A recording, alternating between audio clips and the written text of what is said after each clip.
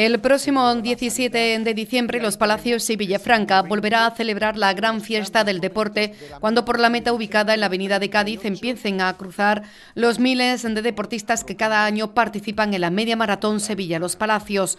Una jornada donde el esfuerzo, la disciplina, el crecimiento personal tiene su recompensa y el reconocimiento de un pueblo que recibe a los atletas siempre con un impetuoso aplauso. Y es que se trata de una de las pruebas más importantes de la provincia y del calendario nacional en general. Todo un clásico que alcanza en 2017 su 39 edición.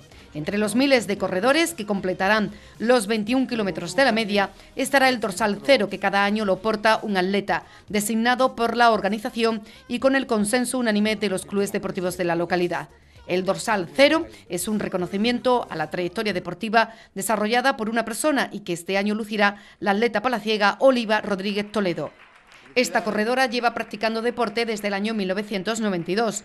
Ha participado en varias medias maratones. La primera de ellas fue en Jerez de la Frontera y la segunda en su pueblo natal, Los Palacios y Villafranca, así como en la de Sevilla. También en la capital andaluza ha corrido varias veces su maratón.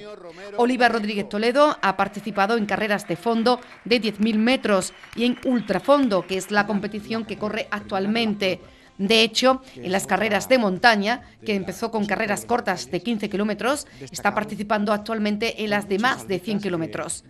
Es miembro fundador del Club de Montaña Las Molonas desde que se creó hace ahora tres años y anteriormente ha pertenecido al Club Atletismo Palaciego.